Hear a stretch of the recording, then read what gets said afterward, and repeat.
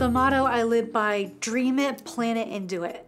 If you dream something and you and you plan it and you do the plan, then you can achieve your dream. I'd like to advocate by example. So that means for me, showing that individual, if I can do something, then they can do things if they want. For me, that means encouragement, facilitation, accommodation, and the determination and to get it done. I'm a certified scuba diver.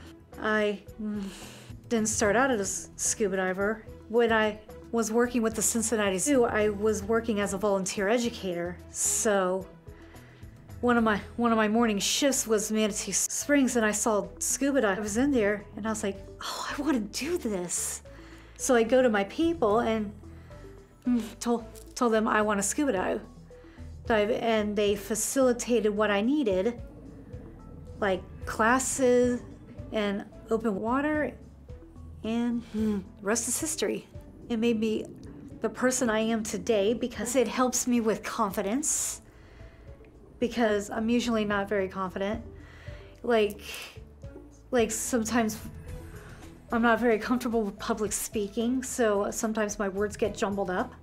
And it just shows that individuals with developmental disabilities can do do these unexpected things. Just get out there and dream it, plan it, and do it. Use the tools of encouragement, facilitation, accommodation, and your own determination to get it done.